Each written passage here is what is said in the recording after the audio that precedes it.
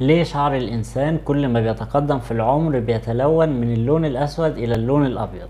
أو اللي إحنا عارفينه الشيب. ده اللي هنجاوب عليه النهاردة. تابعوا معانا الفيديو الآخر. واللي لسه مشتركش في القناة يشترك في القناة ويفعل زر الجرس علشان يصلك كل جديد السؤال اللي لازم نطرحه قبل ما نقول ليه الشعر بيشيب أو بيبيض لما الإنسان بيتقدم في العمر. لازم نقول الشعر أساسا ليه لونه أسود؟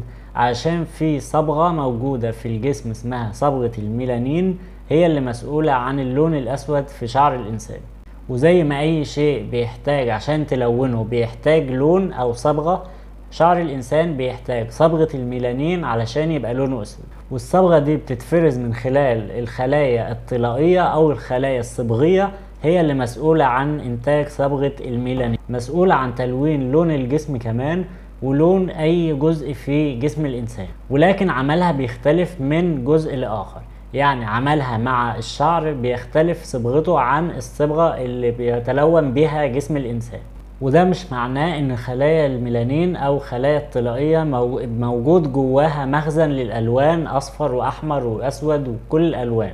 الموضوع كله بيتلخص في نسبة أو تركيز الصبغة في الجزء ده من الإنسان. وكمان الخلايا دي مسؤولة عن لون العينين وباختلاف تركيزها بيختلف ألوان العينين من شخص للتاني. وكذلك جلد الإنسان في مننا الأبيض وفي مننا الأسود وفي مننا القمحي وفي مننا الألوان المختلفة. ومش بس صبغة الميلانين هي اللي مسؤولة عن تلوين الشعر في جزء تاني بيكون كمان الشعر ولونه وهو الكيراتين الميلانين مسؤول عن صبغة اللون في الشعر والكيراتين مسؤول عن تقوية الشعر نفسه وبالتقاء كل الصبغات ديت بنسب مختلفة في الجزء من الإنسان بيتلون بلون معين حسب تركيز الصبغات دي. ومع تقدم الإنسان في العمر بيقل إنتاج صبغة الميلانين. والسبب في كده إن الخلايا الخاصة ببصيلات الشعر بتنتج مادة اسمها بيروكسيد هيدروجين بيروكسيد الهيدروجين وبيندمج مع إنزيم اسمه إنزيم الكتاليز بيتفاعلوا مع بعض علشان يعملوا اتزان للكمية الموجودة من صبغة الميلانين وكل ما تكبر شوية بيقل إنتاج إنزيم الكتاليز